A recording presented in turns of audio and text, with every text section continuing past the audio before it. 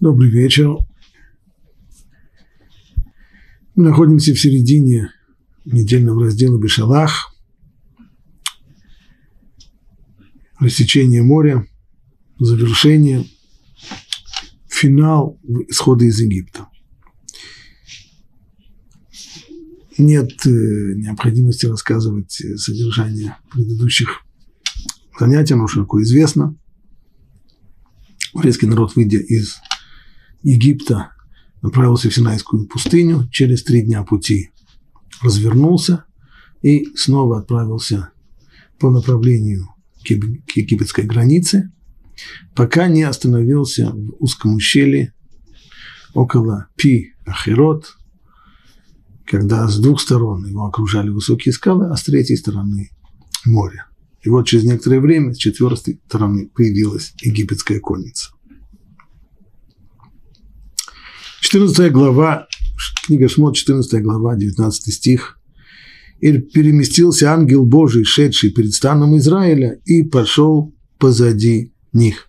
То есть для того, чтобы создать защиту, преграду египтянам, чтобы они не сумели сразу же с налету напасть на лагерь Израиля.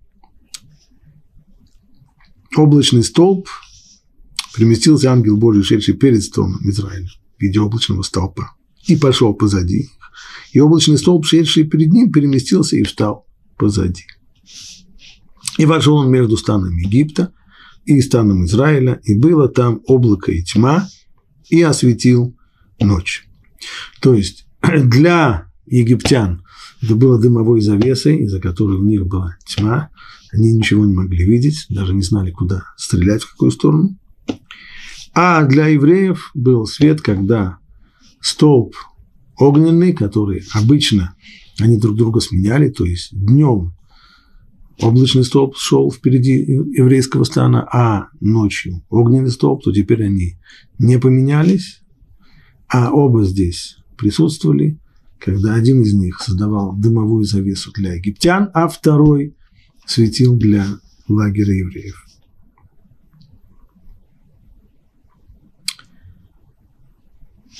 И не могли приблизиться друг к другу всю ночь. То есть в результате вот этого вот действия двух столпов египтяне ночью не могли атаковать стан Израиля. И простер Муше руку над морем. И гнал Господь море всю ночь сильным восточным ветром, и обратил море в сушу, и расступились воды.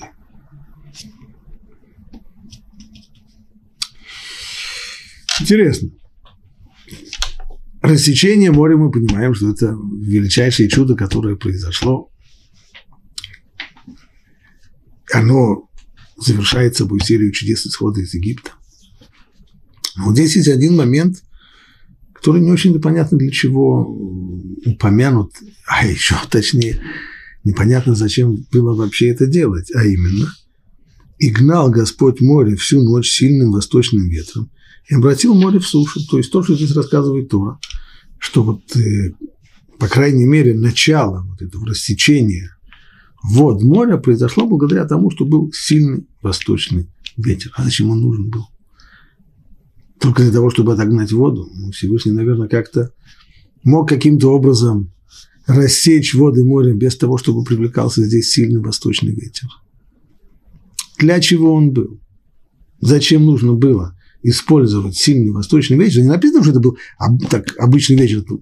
Есть такие места, в которых э, каждый день, во второй половине дня с моря дует ветер с трех до пяти, сильный ветер. Нет, написано, и гнал Господь, как там, и гнал Господь море всю ночь сильным восточным ветром. Специально Всевышний его здесь навел, этот ветер, сильный, сильный восточный ветер. Зачем? Вот этот вопрос задает Рамба. Смотрим его ответ.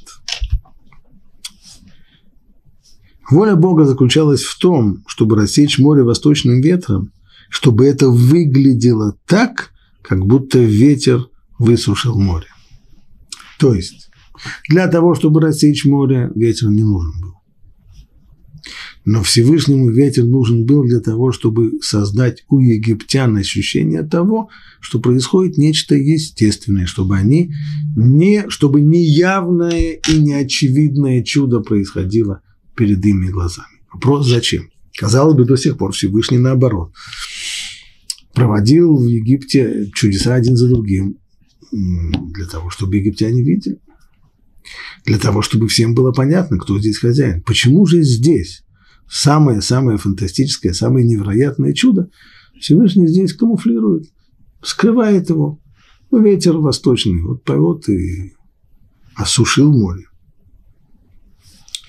Чтобы это, и так, чтобы это выглядело так, как будто ветер высушил море, и тем самым ввести египтян в заблуждение, чтобы погубить их. Ловушка это была на самом деле. Ведь если бы египтяне при всем их желании увидели, при всем их желании напасть, если бы они увидели, что ни с того ни с сего, совершенно называется, среди бела дня, на ровном месте, море рассекается, еще рассекается так, как оно, так рассказывают нам мудрецы, что оно рассеклось на несколько, в нескольких местах, так что каждый из 12 колен сумело пройти по своему лабиринту. Если бы они увидели такое, то вряд ли у них бы хватило смелости броситься в погоне за евреями. Здесь произошло не так. Именно для того, чтобы заманить их в ловушку. Именно для этого Всевышний создает у них ощущение того, что происходит, может быть, очень непростые, э, очень непростые события, но все-таки объяснимы, реально. У ветер подул, слишком сильный ветер, буря, ураган. Ну, такое бывает. Самое главное, чтобы не почувствовали здесь, не увидели здесь руку Бога, которая направляет все события. Они действительно подумали, продолжает Рамбан. Может быть, это ветер ты превратил море в сушу, а не рука Бога сделала это для Израиля. И хотя ветер, теперь вопрос, а был ли этот камуфляж э, стопроцентным? Закончен? Нет. Да, действительно был ветер. Но все-таки, если бы человек внимательно посмотрел бы и подумал бы над тем, что происходит, он бы понял, что это не случайная вещь. Ведь ветер не может рассечь море на части, ветер может отогнать. Но то, что было здесь, когда воды встали стен, стен, стенами, когда образовали лабиринт, по которому можно было проходить, но при всем желании никакой самый сильный, самый восточный ветер не может такого сделать. Этого не увидели. Почему? И хотя ветер не может рассечь море на части, они не обратили на это внимания и вступили в море вслед за сынами Израиля, переполненные желанием причинить им зло. То есть объясняет Рамбан, что причина, по которой они не обратили внимания на эту важную деталь, что море рассеклось на части, и это не могло быть результатом действия ветра, это потому что ненависть настолько застилала им глаза, что эти детали они не видели. Человек, ведомый очень сильным желанием, будь то сильная любовь. Сильная любовь, она тоже ослепляет. Сильная ненависть тоже ослепляет. Сильное желание достичь чего-то. Человек тоже не видит препятствий перед своими глазами, бросается, очертя голову неведомо куда. Там, где есть сильное желание, сильное влечение, оно застилает глаза, оно не дает человеческому разуму трезво оценить ситуацию и сделать правильные выводы. Вот почему они не увидели вот этой, того, что море рассеклось на части. Стоп. Но если уже, тогда непонятно. Тогда если у них уже было такое сильное желание, и это сильное желание застилало им глаза, так зачем нужно было тогда вообще устраивать этот восточный ветер? Если у них было такое сильное желание, то тогда, даже если бы не было никакого восточного ветра, просто море бы рассеклось само по себе по знаку Муше. Этого тоже было бы достаточно, они бы все равно, очертя голову, погнались бы за евреями. Нет. Здесь вот, вот, вот это вот та самая тонкая граница. То есть,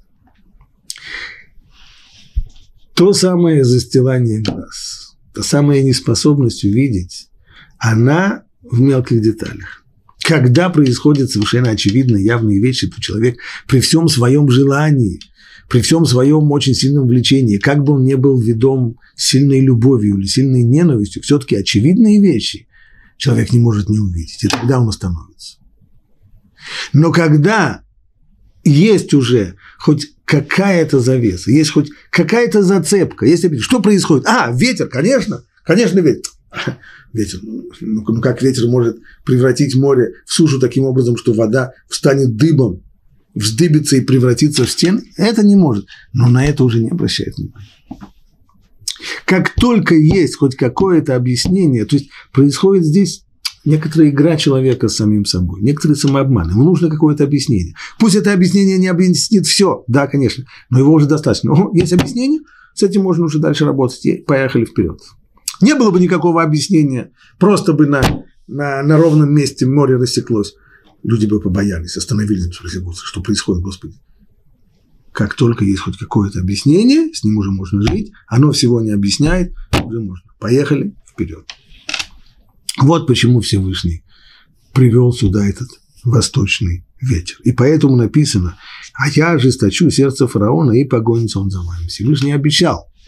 Муше, когда он сообщил ему этот приказ через три дня пути вернуться по направлению к Египту, тогда же он ему сообщил, я ожесточу сердце фараона и погонится он за вами. То есть Всевышний обещал сделать какое-то действие, которое приведет к тому, что фараон, который в другом случае трезво размышляя, не стал бы этого делать, получит некоторое укрепляющее воздействие свыше и погонится. Что это будет? Да вон говорит Рамбан. Именно это самое. То, что Всевышний сюда пустил, тот самый восточный ветер, создав у фараона и у остальных египтян ощущение того, что все происходит естественным путем. Всевышний укрепил его сердце, чтобы тот сказал «погонюсь, настигну их на море, и никто не спасется от моей руки». В этот момент они забыли, что Бог сражается за сынов Израиля с египтянами. То есть, еще одна деталь Рамбану. Даже если бы не то, что они видят сегодня перед своими глазами, хорошо. Предположим, мы объяснили, что глаза им застилает ненависть. Гуд. Ну, хотя бы немножко памяти вспомнить то, что произошло совсем недавно в Египте. В Египте там же было ясно, что это что, что это вмешательство Всевышнего. Как колдуны фараона сказали ему, Эцбейлоким – это перст Божий.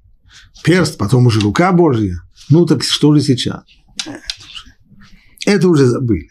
В тот момент, когда в пылу погони, движимые ненавистью, движимые желанием растоптать, забыли обо всем. Читаем дальше.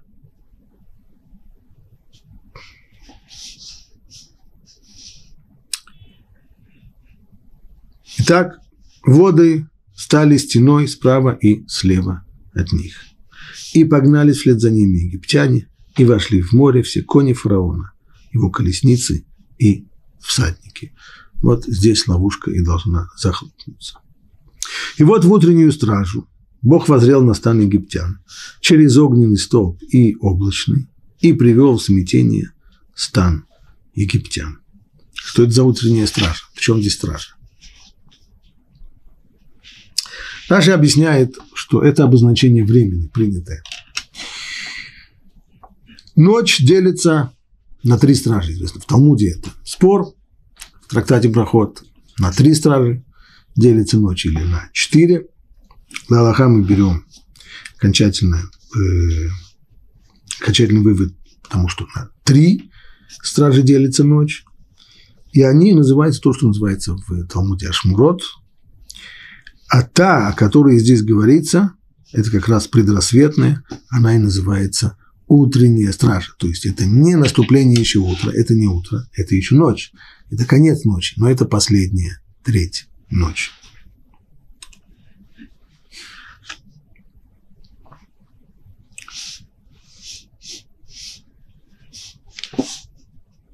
Итак, в эту самую последнюю утреннюю стражу Бог возрел на стан египтян – Такое воззрение, как обычно Раши подчеркивают каждый раз, когда упомянуто такое слово в Торе, имеется в виду воззрение с недобрыми намерениями.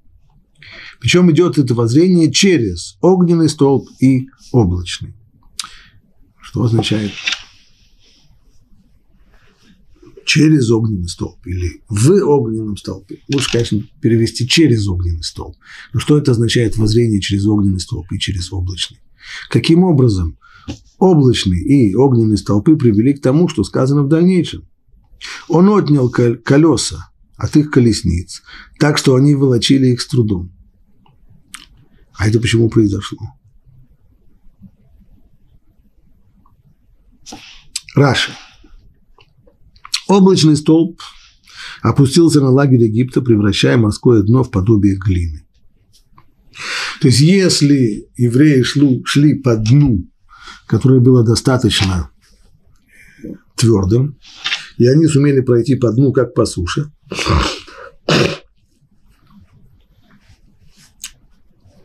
то с египтянами так не получилось. Нужно было, хотя нужно было сделать так, чтобы они не убежали, не, не смогли убежать обратно на сушу. Поэтому,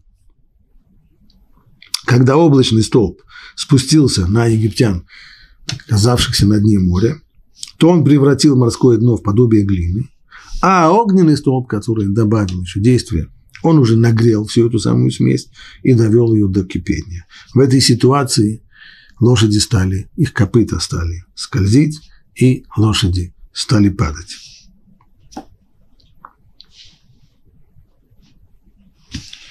В результате он отнял колеса от их колесниц. То есть колеса увязли в этой жуткой глине. Даже руками лошади скользят и падают. Руками вытащить колесницы тоже невозможно, потому что они увязли в глине, так что волокли их, волочили их с трудом. И сказали египтяне, бежим от Израиля – ведь Бог воюет за них с Египтом. Вот когда уже подобные вещи случились одна за другой, вот здесь уже сознание реальности вернулось к египтянам. Понятно, что дело плохо, потому что это уже вмешательство Бога.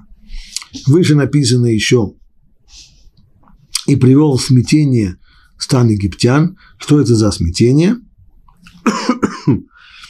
Говорит, Раши Всевышний смешал их боевые ряды, лишил их полностью разума. В чем, в чем, какого здесь разума решил? Если люди понимают, сказали египтяне, бежим от Израиля, ведь Бог воюет за них с Египтом, значит, разум у них есть. Имеется в виду другое дело.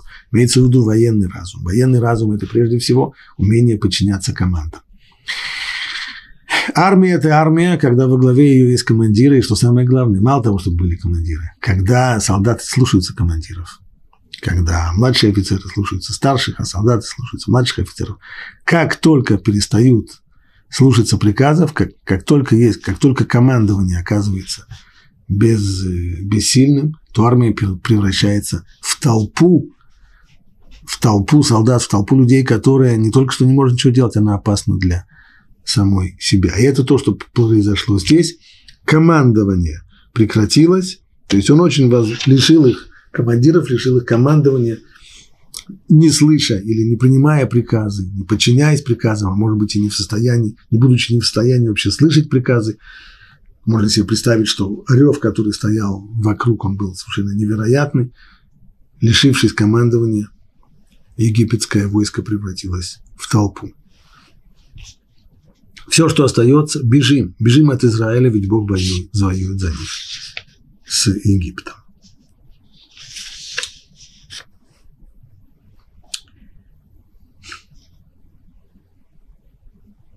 Может быть, э, прежде чем посмотрим развитие действий дальше, небольшой ворд.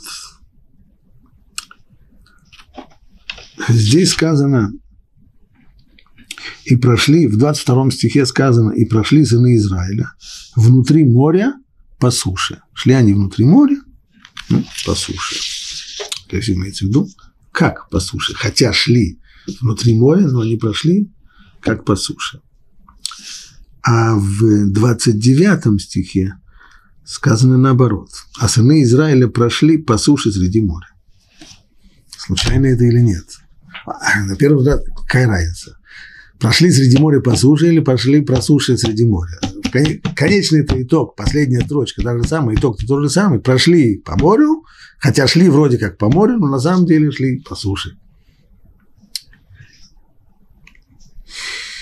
Но нас учили, что подобные вещи случайно не бывают. То есть есть здесь... Э, есть над чем задуматься. В, в книге Ноам или Мелех он объясняет это следующим образом.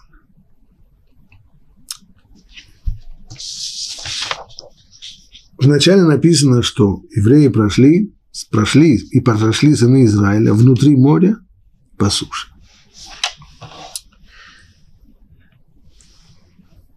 Они хорошо знали и хорошо осознавали, что они идут внутри моря. Это ощущение ни на секунду их не покидало. Но с другой стороны, они под ногами ощущали твердую почву. Но все понимали, что это чудо великолепное, фантастическое, невероятное чудо, которое даже представить себе невозможно. Как можно находиться внутри моря, вместо того, чтобы кануть в пучине, вместо этого идти по твердой, по твердой суше. И ощущение того, что они в море, не покидало их ни на секунду. И вот здесь вот произошло то, о чем говорит Рамбан в конце предыдущего недельного раздела Бо. Когда человек размышляет если он только не проходит мимо. Когда он размышляет над вот такими великими чудесами, которые происходят, подобные, подобно тому, что было здесь, подобно тому, что было в Египте, а в особенности подобно тому, что произошло здесь на море, то он по-другому смотрит и на свою повседневную жизнь. А именно, то, что написано в 29 стихе, в дальнейшем, что, что сыны Израиля прошли по суше, как по морю. То есть, и после этого, когда уже вышли из моря, все закончилось. Драма завершилась. Теперь уже идем все время по суше. Человек, который идет по суше, обычный человек, нормальный, когда он идет по суше, он уверен, под ногами твердая почва. Он знает, что каждый шаг, который он сделает, он не боится, что он сейчас провалится вдруг вниз. Твердо, уверенно ступает по твердой земле. Он хозяин положения, он уверен. Вот если вдруг сейчас окажется, что впереди лужа или или река, или море, вот тогда, тогда он будет неуверен, вот тогда у него появится страх. А так он идет по суше, в чем дело. Но для, того, для тех, кто прошел через море, для тех, кто прошел, и они поняли, вот, ощутили все это колоссальное чудо, то они поняли, что и то, что происходит с нами в повседневной жизни, это на самом деле тоже самое чудо. Никакой уверенности быть не может. И все различие между чудом и не чудом – это только то, что чудо появляется однажды, а не чудо повторяется ежедневно. Но по сути своей, по природе своей, то же самое. И тогда человек, который проникся этим сознанием, то он ступает по суше, как по морю, понимая, что каждый шаг его по суше – это только-только потому, что Всевышний хочет, чтобы сейчас он не оступился, и чтобы сейчас он сделал твердый шаг и сделал еще один шаг, поэтому у него получается. Но на самом деле эта суша, она тоже на море. Она тоже море. Она такая же зыбкая, как море. И никакой разницы между ними нет. Так люди привыкли. Обычно смотришь, как человек, который часто летает, это вижу, садится рядом со мной человек, весь такой сытый, упитанный, самоуверенный, на лице его самоуверенность. Самолет э, разбегается, взлетает, вижу, человек этот начинает креститься. Э, страшно. Почему? В воздухе. Висим в воздухе, болтаемся, не, не, не дай бог. А когда такой человек садится, садится в свой Мерседес, вот здесь я не видел, чтобы он крестился, когда он садится в свой Мерседес. А на самом деле, какая разница? Что там на воздухе, что на суше – Никакой разницы-то нет. Абсолютно никакой. Поэтому и говорит Тор, что те, кто прошли через море, они прошли через море по суше, а после этого и по суше они ходили, как по морю, каждый раз зная и понимая, что каждый твой шаг, каждый шаг, который ты делаешь, каждое дыхание, которое ты делаешь, если ты его сделал, слава Богу, если он вздохнуть и сделать еще один шаг, слава Богу, чудо. ох,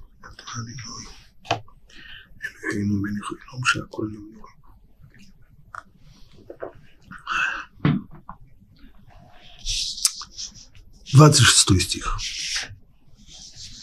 «И сказал Бог Моше, протяни руку над морем, и вернутся воды на египтян, на их колесницы и всадников. То есть вода, которая до сих пор стояла стеной слева и справа, ну, бесконечно она будет стоять, пускай возвращается. И простер Моше руку над морем, и к утру море вернулось к своей силе, а египтяне бегут ему навстречу. То есть египтяне окончательно, то, то к чему привело э, отсутствие командования и паника превратила их не просто в стадо, а в стадо обезумевших совершенно людей, так что они побежали навстречу волнам, навстречу своей смерти. Итак, к утру море вернулось к своей силе. Ну, вернулось к своей силе – это перевод литературный, приблизительный. В оригинале упомянуто слово, довольно редко употребляемое, Йошев Амле Эйтано. Эйтан. Перевели мы его здесь на русский язык как к своей силе. Это тоже не ясно, что к своей силе. А, а, что, а, а до этого оно вернулось к своей силе, а до этого море было бессильно, когда воды стояли стеной. Это от отсутствия сил они стояли так стеной. Что значит здесь вернулось к своей силе? Мудрецы объясняют это слово еще более странно. Берут это слово «эйтано», делают в нем перемещением букв и говорят «Шав летнао аришон» к первому, то есть море вернулось, куда оно вернулось? Вернулось к своему первому условию. Что это значит первому условию? Можно понять это так. Можно было бы понять, что когда Всевышний создавал мир, то он обусловил всеми творениями, то есть заранее заложил в программу управления миром то, что в определенный день по необходимости должно случиться такое-то чудо. То есть заложил уже это чудо в программу. Тогда, в общем, если так, если понимать это так, то тогда вообще это, это чудо перестает быть чудом, потому что оно точно так же, как все остальные законы природы, они уже заложены в программу в сам, с самого начала творения. Значит, так же и, и это чудо тогда заложено. А с другой стороны, вряд ли имеется в виду именно это, потому что ведь не, не сказано, что само рассечение моря было результатом этого, этого условия, а море вернулось к своему условию, Летнао решил. Как это, как это следует понимать? Что это означает? Значит ли, что все абсолютно заложено в программу, и тогда перед нами в принципе чудес-то никаких уже не осталось, и все просто идет своим чередом, так как, так как это заложено в первичной программе, или нет? Как понять эти слова мудрецов правильно?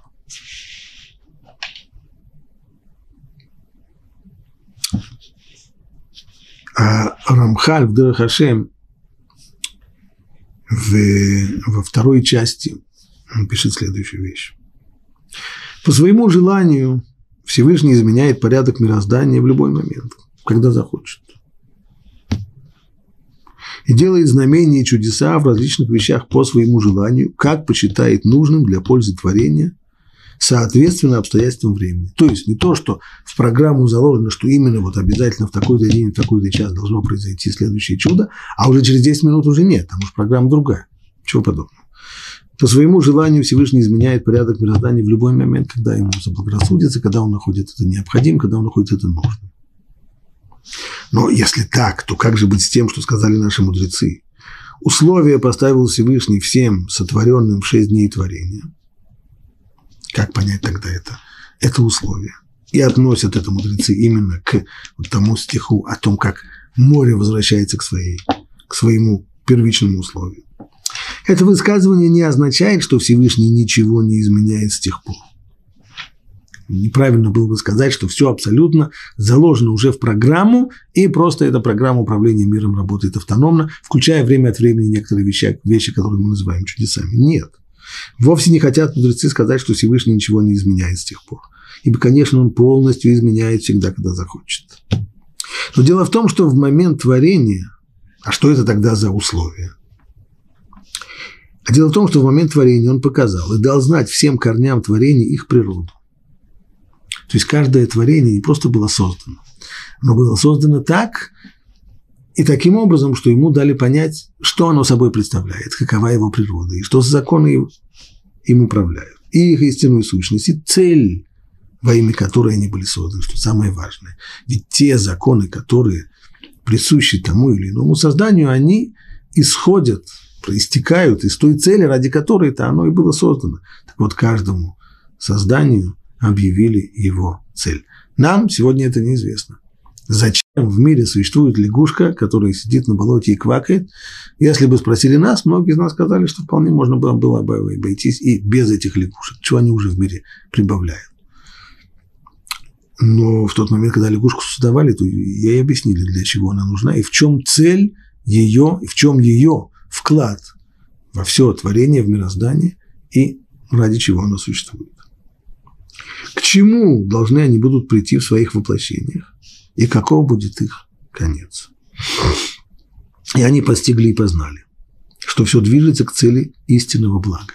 Ведь не просто же так у каждого творения есть какая-то цель. Цель каждого из творений, она вливается в общую реку, приводя в конечном итоге к окончательной цели всего творения. То есть каждое из творений, оно, цель его существования, она цель промежуточная, она цель, которая ведет к следующей цели и так до окончательной цели творения. И когда они это узнали, для чего они существуют, то они приняли это с удовольствием и обрадовались. То есть не было тех, которые сказали, это что, то есть не то, что лягушка пришла бы и сказала, что это все для чего существует, только для того, чтобы сидеть на, на, на, на болоте, квакать и, и, и, и комаров глотать. А у вас нет более, более важного. Каждый из творений, получив свой, свое предназначение, свою цель, обрадовалась. Вот об этом-то сказали мудрецы. И в другом месте. В трактате Рошана говорят мудрецы. Все творения были созданы с их согласия. То есть каждое творение было удовлетворено и довольно той целью и той роли, которую оно должно играть. Но когда вот, и вот именно когда Всевышний им сообщал их природу и цель их существования, цель их творения, цель их существования, он дал им знать их истинную сущность их законы и все их превращения, вот тогда он показал им, что одно из необходимых условий их совершенства, чтобы через них произошли известные чудеса для всего Израиля. Или даже не для всего Израиля, только для отдельных праведников Израиля тоже.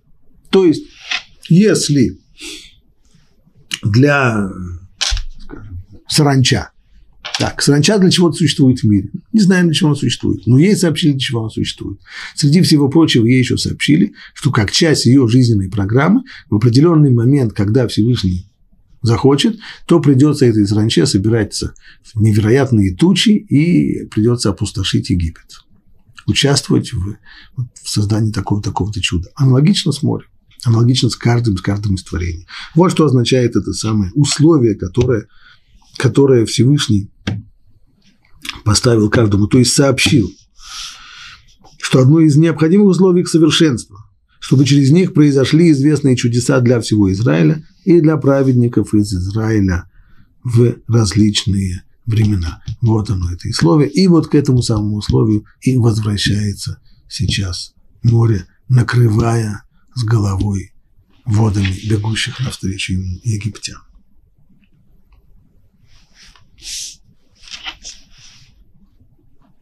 И Господь опрокинул египтян в море. Даже опрокинул, подобно тому, как человек, которому нужно вытряхнуть содержимое из кастрюли, опрокидывает, переворачивает ее вверх дном.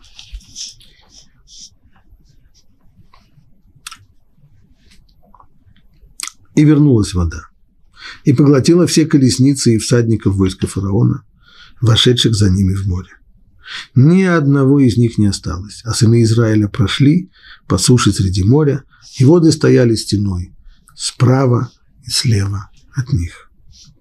И спас Бог в тот день Израиль от египтян. И увидел Израиль египтян мертвыми на берегу моря. Странно, если они потонули в море, то каким образом Израиль увидел их мертвыми на берегу моря? Раша объясняет это так. Сыны Израиля увидели тела мертвых египтян, которые в море выбросило на берег. То есть мало того, что они утонули в воде, после этого море еще и выбросило их на берег. Так было сделано, то есть это было тоже неестественно. Естественным образом труп утонувшего человека, он всплывает только через несколько дней. После того, как тело разбухает, набирается воздух, становится, становится легче, чем вода, и тогда всплывает. Но здесь сразу же. Почему?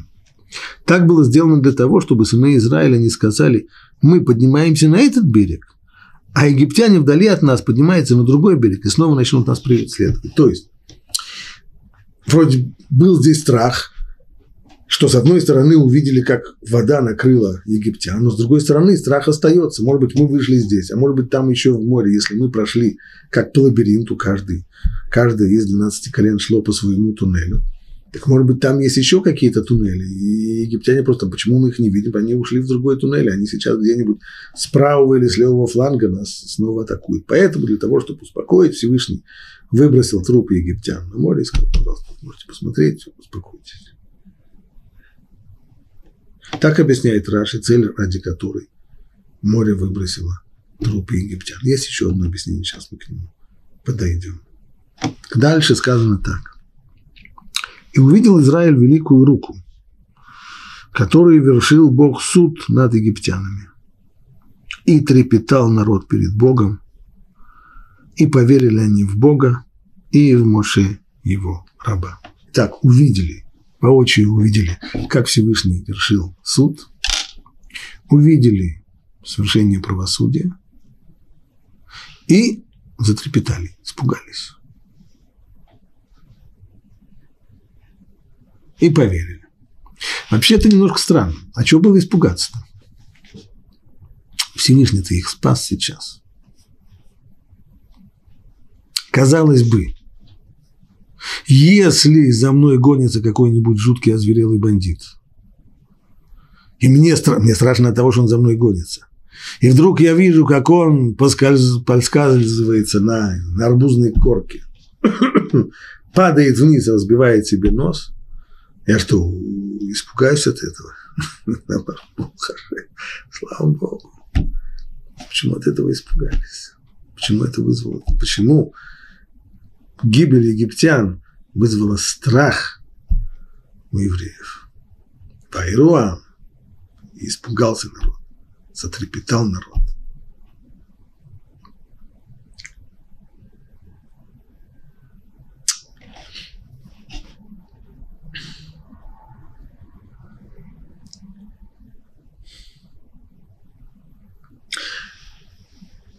А Ницив объясняет здесь, что для того-то море и выбросило трупы египтян, чтобы евреи увидели, что произошло с каждым из них. Видели здесь, что проведение сработало с невероятной точностью, заплатив каждому меда, кенегет меда, мерой за мерой, так что само наказание – отражало то преступление, за которое человек и получил это наказание. И каждый по-своему. А ведь были здесь совершенно разные люди. В вечерней молитве мы говорим «Этрутфеем вецунеем битгумот тиба» преследовавших их и ненавидевших их, Всевышний утопил их в пучинах. Так, Всевышний утопил в пучинах два рода людей, два рода египтян, преследовавших их и ненавидевших их. Чем они отличаются друг от друга? Просто. Преследовавший – это просто это служивые солдаты. Им сказали вперед, они пошли вперед. Что называется, ничего личного, никаких личных, личной ненависти к евреев у них могло и не быть. Просто выполняют приказ. Вот они им сказали погнаться, вот они погнались. Были другие – были те, которые пришли добровольцами, потому что они служили. Они пришли добровольно из ненависти. По самым разным причинам могла эта ненависть пробудиться. Прежде всего, скорее всего, то, на что нажимал фараон, это то, что фараон объяснил всем египтянам, что эти мерзавцы нас обобрали.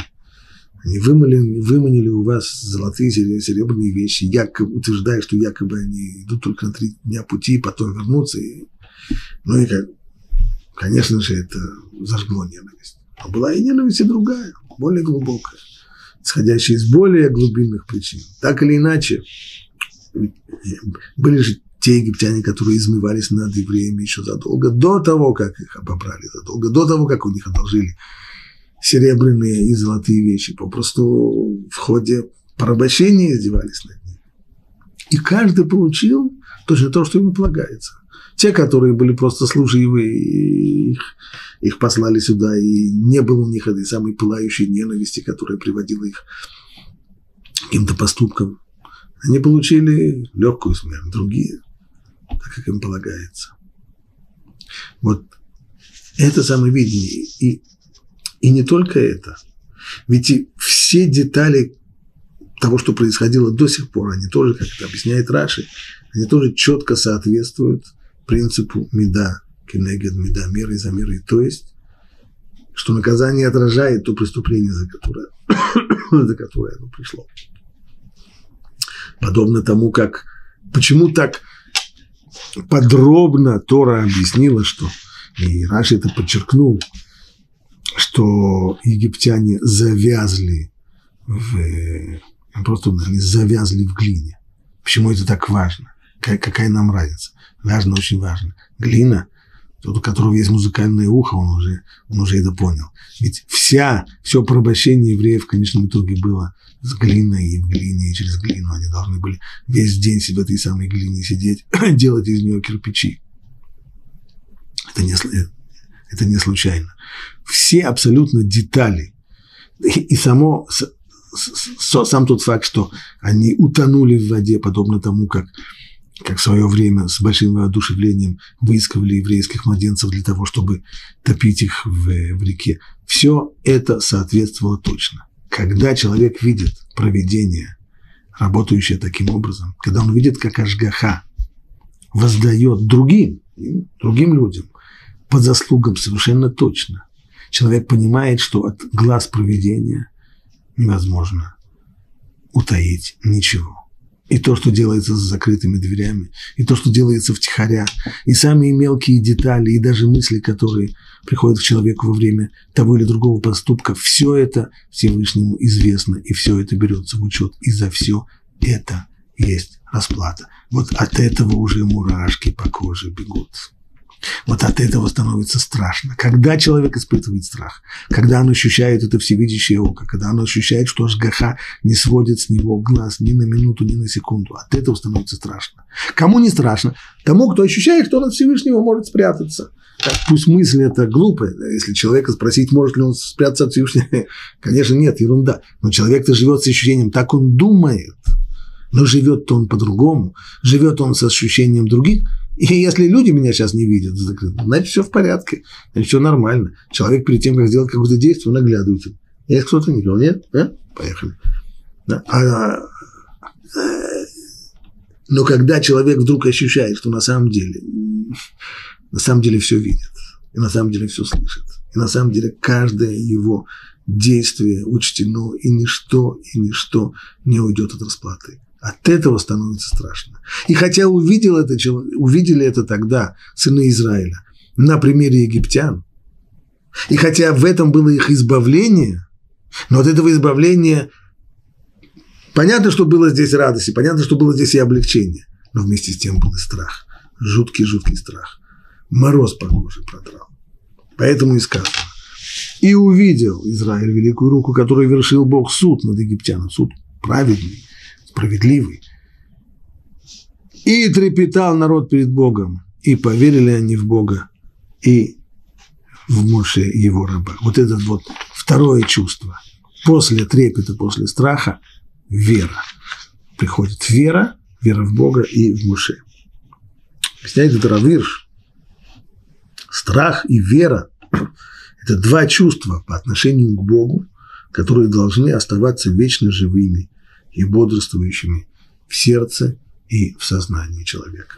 Страх перед Богом и сознание того, что он все знает, все видит, и за все придется платить. И вера.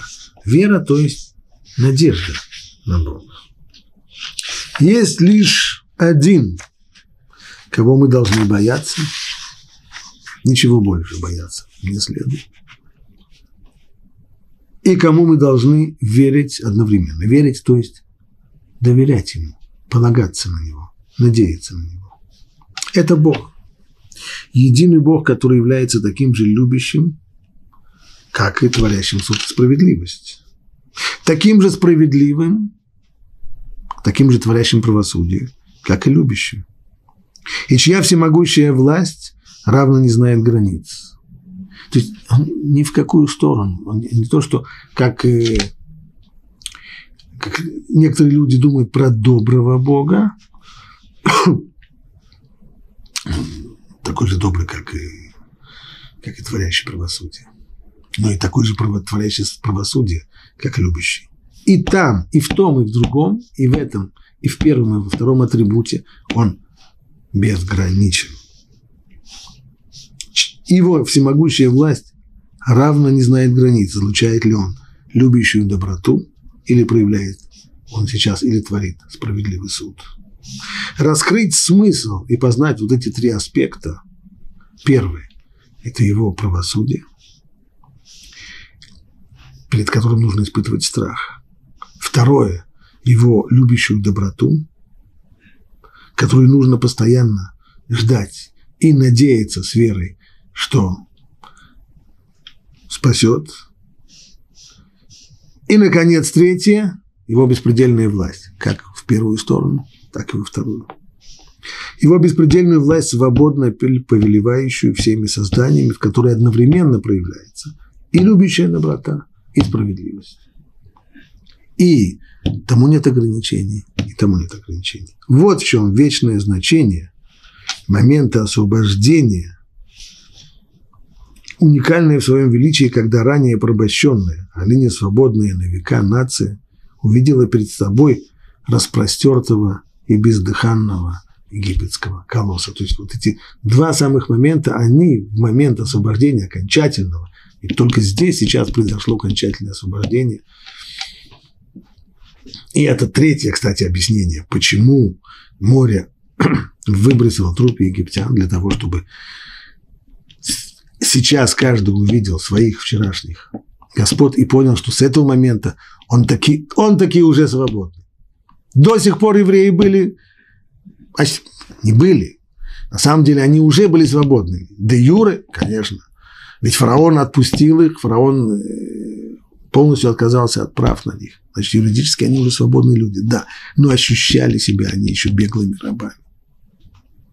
А вот теперь, когда бездыханные трупы их вчерашних господ валяются на берегу моря, вот теперь почувствовали себя освобожденными. И вот это вот освобождение, момент освобождения, помимо самого факта освобождения, он еще и заострил наше внимание на этих двух аспектах, а именно страх Божий, первое, и осознание, и вера, Вера, то есть надежда на божескую любовь.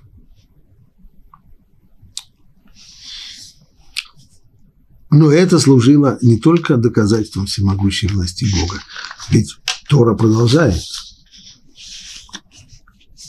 И увидел народ великую руку, которую вершил Бог, суд над египтянами, и затрепетал народ. И поверили они в Бога, точка? Нет, не точка. И поверили они в Бога и в Моше его раба. Это важный момент вечного свидетельства правдивости его слуги Муше. В конечном итоге он сыграл здесь не последнюю роль. Именно рука Муше простерлась над морем. Когда завершилась вся эта драма? Когда воды моря вернулись и накрыли египтян? Только после того, как Муше подал им знак, только после того, как он навел свою руку на море. Именно рукой Маше Бог повел Египет к гибели, а Израиль по пути ведущему к жизни и свободе. 15 глава. Тогда споет Муше сынами Израиля эту песню Богу. И они сказали такие слова. «Воспою я Господа, ведь высоко вознесся Он, коня и всадника, швырнул он в море. Этими словами начинается Ширата Ям, песнь на море. Один из немногих поэтических отрывков, которые есть в Торе. Начало очень странное. Тогда споет Муше Аз Яшир Муше на Израиль в будущем времени. Тогда споет Муше сынами Израиля эту песню Богу. И они сказали такие слова. Начало стиха в будущем времени, продолжение его в прошедшем. Как это все вместе. Рамбан говорит, это вообще не страшно. Ну, такова природа любого рассказа. Рассказчик иногда ставит себя в прошедшее время, и тогда он рассказывает все в настоящем времени. А иногда он ставит себя в настоящее время и о том, что произошло, рассказывает в прошедшем времени. Раши не соглашается с этим. Раши пишет, что значит тогда, тогда, когда увидел чудо, сердце побудило его за песнь. То есть, по мнению Раши, вот такая вот форма рассказа о прошедшем событии в будущем времени, оно означает именно выражение желания. То есть тогда у Муше появилось желание. И для того, чтобы это подчеркнуть, Тора пользуется здесь будущим временем. Это пшат. А мидраж, мидраж, как мы знаем, он требует понимать вещи в лоб, то есть буквально, если написано в будущем времени, значит, это будущее время. И никакого ничего другого. А Мидраж таков. Наши мудрецы говорили, что здесь Тора намекает на воскресение из мертвых. То есть, что Муше еще споет эту песню. Как это он ее споет, если он уже давным-давно умер, только что прочитали, в Симхат Тура прочитали о том, как Муше умер и был похоронен. Значит, если он еще споет, придется ему появляться в этом мире. Еще раз, отсюда мы видим намек на воскресение из мертвых. Итак, что же есть в этой песне? Сказали они, воспою я Господа, ибо он высоко вознесся, коня и всадника, он швырнул в море. Господь моя сила, и ему моя песня. Он спасение мне, это мой Бог, и я буду славить его. Бог отца моего, и я превознесу его. Коня и всадника швырнул он в море. Долго пришлось искать подходящий перевод этой фразы, не очень-то получилось. Написано ведь здесь в оригинале Сус ворохво рама ваям. То есть коня и всадника он поднял в море. Как так поднял?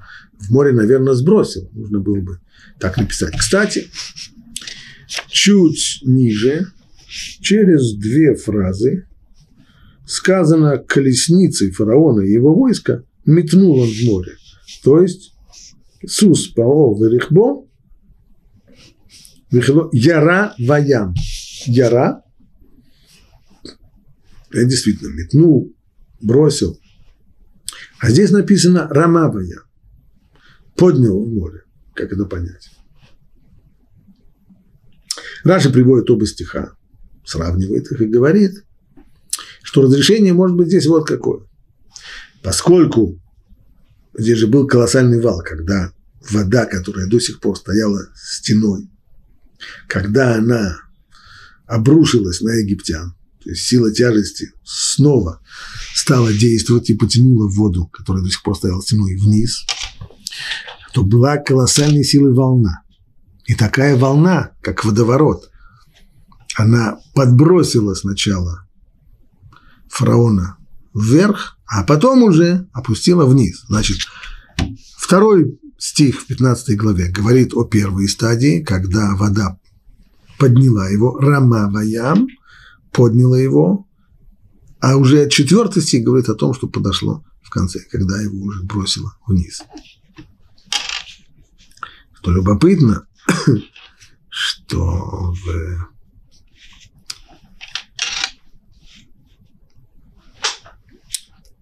в Египте в свое время в, в Эляриш, в городе Эляриш на Синае была найдена его назвали черная стела, большой-большой черный камень, покрытый иероглифическими письменами, в которой упоминаются какие-то очень непонятные события. Большая часть текста стерта, его прочитать не смогли, но какие-то отрывки небольшие прочитали.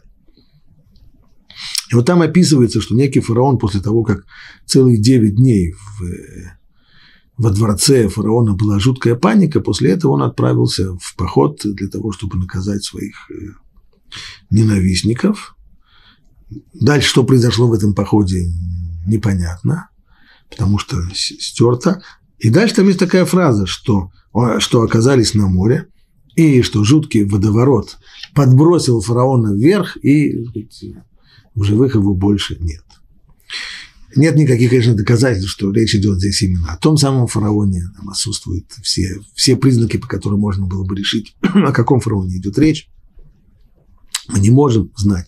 Да и, честно говоря, мы и не знаем, какой фараон был фараоном исхода. Это тоже историки спорят, спорят об этом до хрипоты, и хороших доказательств нет ни у одного из них. Можно выслушать те доказательства, другие доказательства, но они все достаточно слабые. Но так или иначе, по крайней мере, в качестве иллюстрации есть любопытная вот такая вот вещь о, фара... о гибели фараона в воде, и причем вот эта самая деталь, что не просто он гибнет в воде, а сначала его водоворот подбросил вверх, а уже потом он только утонул.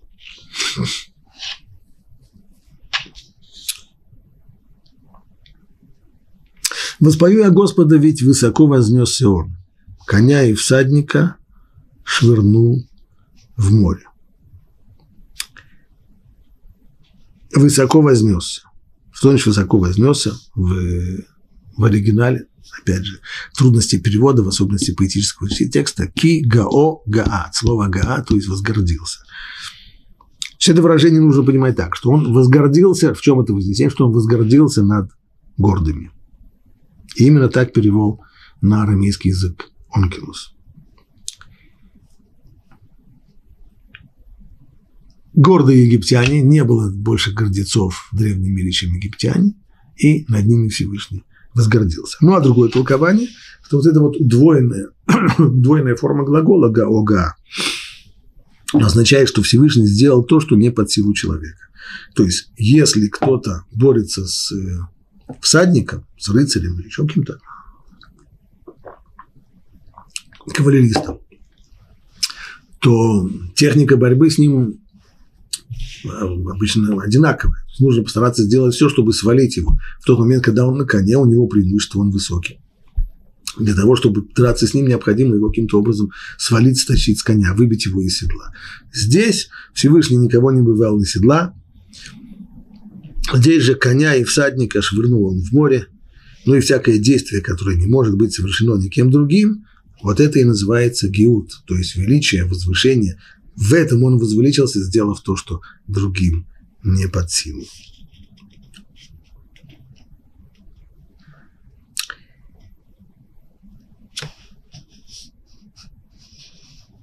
Господь моя сила, ему моя песнь, он был спасением, это мой Бог, и буду славить его. Это мой Бог. Слово «это» Раши всюду и везде говорит, что вот это вот слово «это» это означает только тогда, когда на что-то можно показать пальцем. Вот, вот это вот. Здесь это довольно странно. Это мой Бог, как, как это так? Это означает, говорит Раши, что пророческое восприятие было настолько сильное и настолько ясное, и настолько четкое, что почти можно было ткнуть пальцем. То есть уровень пророческого восприятия, до которого сумели тогда достигнуть, он был невероятный, так что сказали наши мудрецы, даже простая служанка на море видела больше, чем пророки в дальнейшем.